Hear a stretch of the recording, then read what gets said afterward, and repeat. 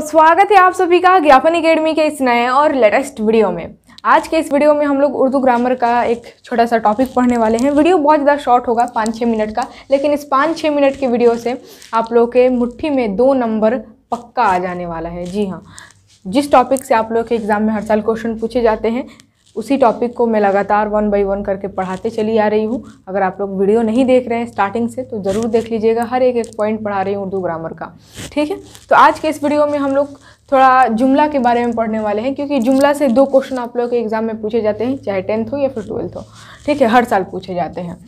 जुमला आप लोग जानते हैं, किसे कहते हैं? सेंटेंस को। अक्षर अक्षर को उर्दू में कहा जाता है हर्फ। ठीक है? और अक्षर से क्या बनता है? शब्द बनता है, यानी कि लेटर से वर्ड बनता है। तो वर्ड यानी कि शब्द को उर्दू में कहा जाता है, लफ्ज़।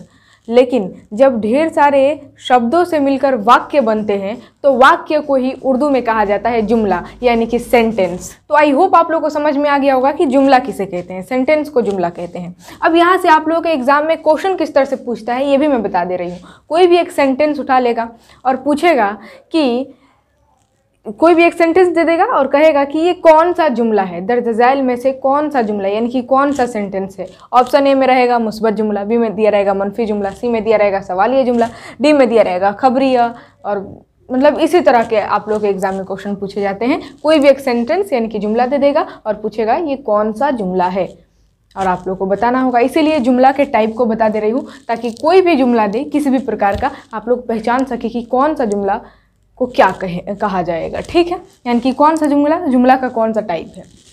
चलिए स्टार्ट करते हैं आज के इस वीडियो को और वीडियो को स्टार्टिंग में ही आप लोग लाइक शेयर वगैरह ज़रूर कर दीजिएगा। चैनल पर अगर आप लोग नए नए आए हैं तो चैनल को सब्सक्राइब कर लेना है ताकि जब भी वीडियो अपलोड हो नोटिफिकेशन आप तक सबसे पहले पहुँचे और लाइक ज़रूर करना है। चलिए स्टार्ट करते हैं। जुमला की तीन किस्में होती हैं, यानी कि सेंटेंस के सेंटेंस जुमला यानी कि उर्दू में सेंटेंस के तीन टाइप पहला है मुस्बत जुमला, दूसरा है मनफी जुमला और तीसरा है सवालिया जुमला। मुस्बत जुमला उस तरह के जुमला, उस तरह के सेंटेंस को कहते हैं जिस जुमले में किसी काम का करना या फिर होना ज़ाहिर हो। जैसे कि मैं अभी पढ़ा रही हूँ, यानी कि काम हो रहा है। काम करना ज़ाहिर हो रहा है, काम होना पता चल रहा है। मैं भी पढ़ा रही हूँ, आप लोग पढ़ रहे हैं, ठीक है? हम लोग मतलब जिस काम, जिस जुमले में काम करना ज़ाहिर हो, काम का पता चले कि हाँ काम हो रहा है, उस जुमले को क्या कहेंगे? मुस्बत जुमला, ठीक है? अब कोई भी काम हो, हंसना हो, बैठना हो, उठना हो, खेलना हो, दौड़ना हो, भागना हो, पीटना हो, मारना हो, कुछ भी हो, बस काम होना चाहिए। तो जिस जुमले में काम होना पता चले, उस जुमले को कहते हैं मुस्बत जुमला। आई होप आप लोग को समझ में आ गया होगा, मुस्बत जुमला, ठीक? दूसरा है मनफी जुमला। तो अगर यहाँ से क्वेश्चन पूछेगा कि सलीमा पढ़ रही है। दर्जैल में से कौन सा जुमला है? ऑप्शन ए में दिया रहेगा मुस्बत जुमला, बी में दिया रहेगा मनफी जुमला, सी में दिया रहेगा सवालिया जुमला और डी में दिया रहेगा इंशाइया तो आप लोग बता पाएँगे ना कि सलीमा पढ़ रही है। ये एक क्या है? मुस्बत जुमला है। ठीक है, कौन सा जुमला है? मुस्बत जुमला, क्योंकि पढ़ना ज़ाहिर हो रहा है, काम होना पता चल रहा है। आगे बढ़ते हैं। दूसरा जो है मनफी मनफी जुमला ये कौन सा जुमला है? मतलब किसे कहते हैं? जिस जुमले में किसी काम की मनाही हो, उस तरह के जुमले को कहते हैं मनफी जुमला। ठीक है? जिस जुमले में, जिस सेंटेंस में किसी काम को करने के लिए मना किया गया हो, रोका गया हो, उस काम को कहते हैं मनफी जुमला। जैसे कि, तुम मेरा पैर मत दबाओ, तुम पढ़ाई मत करो, तुम वहाँ मत जाओ, तुम ये मत खाओ, तुम खाना ही मत खाओ, तुम बोलो ही मत। मतलब जिस जुमले में काम करने के लिए मनाही हो, काम करने के लिए मना किया गया हो। उस तरह के जुमले को कहते हैं मनफी जुमला। ठीक है आई होप आप लोगों को समझ में आ गया होगा। निगेटिव सेंटेंस इंग्लिश में होता है ना निगेटिव सेंटेंस नकारात्मक वाक्य, बस उसी को उर्दू में ला दीजिए। उर्दू में क्या कहते हैं? मनफी जुमला निगेटिव सेंटेंस आगे बढ़ते हैं। तीसरा है सवालिया जुमला। ठीक है, सवालिया जुमला, जिस जुमले में सवाल हो जिस जुमले से सवाल किया जाए, उस जुमले को कहते हैं सवालिया जुमला, जैसे कि तुम कहाँ जा रहे हो, तुम क्यों जा रहे हो, तुम क्या खा रहे हो, ठीक है? तुम क्यों उसे पीट रहे हो? वे लोग कहाँ जा रहे हैं? ठीक है? वे लोग दिल्ली क्यों जा रहे हैं? तुम बोल क्यों रहे हो? तुम इतना टेंशन क्यों ले रहे हो? तुम क्या सोच रहे हो? जो भी हो, जिस सेंटेंस में सवाल हो, जिस जुमले में सवाल हो, जिस जुमले से सवाल किया जाए, उस तरह के जुमले को क्या कहते हैं? सवालिया जुमला। तुम कौन हो? तुम कहाँ जा रहे हो? ये सब क्या है? सवालिया जुमला है। तो आई होप ये तीन समझ में आ गया होगा जुमला। अब देखिए कभी कभी मानी के एतबार से जुमला की दो किस्में बता दिया जाता है। बुक में आप लोगों को जुमला की तीन किस्में ही मिलेंगी, लेकिन कभी कभी बुक में मानी के एतबार से, यानी कि मानी के लिहाज से, मानी के आधार पर जुमला की दो किस्में बता देता है। पहला है खबरिया जुमला और दूसरा है इंशाइया इंशाइया जुमला। ठीक है, खबरिया जुमला उसे कहते हैं, जिस जुमले में खबर हो। जैसे कि खबर, अभी क्या चल रहा है?